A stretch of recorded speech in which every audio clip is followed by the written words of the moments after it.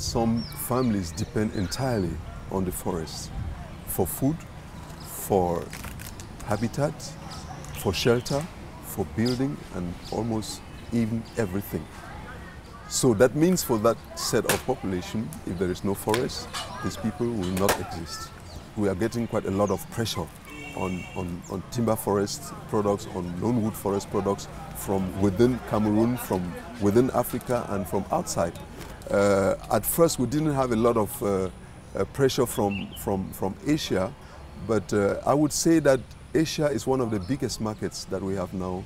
And so uh, to say that the pressure on resources is increasing, and that's why we got to sit up as well to manage our forests sustainably. Otherwise, in the near future, we are losing everything.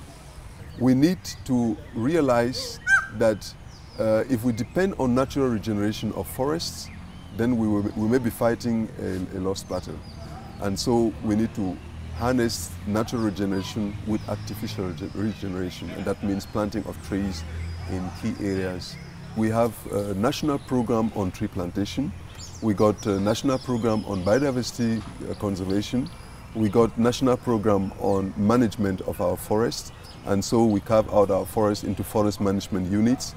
And this means that you cannot go to manage these forests or to harvest from these forests without an approved management plan. Uh, we are also uh, giving out permits to licensed hunters who can go in during hunting seasons to hunt and sell bushmeat. During off-hunting seasons, no hunting is allowed, so that animals can reproduce. You know, we got what you call uh, forest royalties, which are like taxes. I mean, royalties that derive from logging, which go to the communities for their development.